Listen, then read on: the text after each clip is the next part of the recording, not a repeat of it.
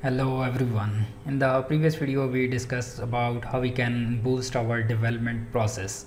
And now the time is to let's get start with the text editor which text editor we need to use. So there is two uh, much better option. The first one is uh, php storm and second one is vs code so basically php storm is a uh, heavy and it's uh, much it's having much more functionalities. But this one is paid and you can get the uh, 30 day or 40 day trials uh, of this php storm. And uh, if you don't have money so you can install the vs code so it's also best for laravel development so why i'm saving this best uh, by default when you install this uh, vs code so it's not best for you but you need to make this best.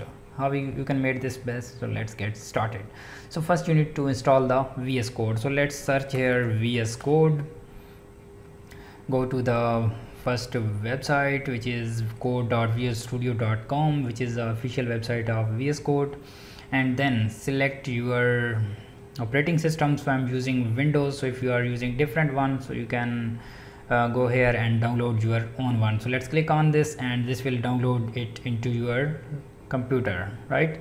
So now i'm going to click on it and open its exe file. I'm going to basically install this uh, into my pc so in the previous video uh, in the previous i uninstalled this. So let's click on this accept agreement and let's click on next. And then i'm going to go to the program and vs file next next and install. So it's pretty basic steps. You need to click on next next and it will install it for you.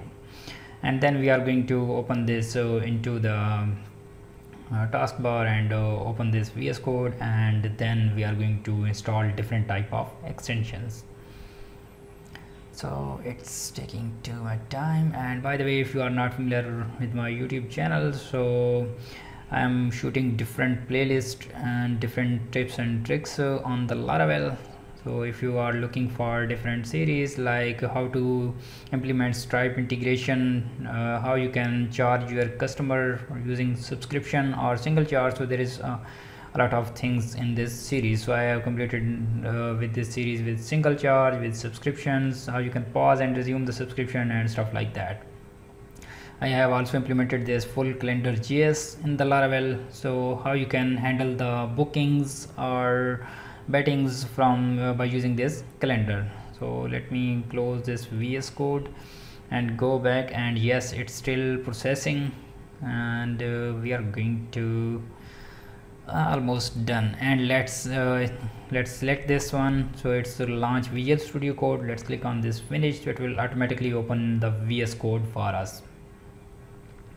Okay it's opening the vs code. And uh, now we are going to open a laravel application into it right?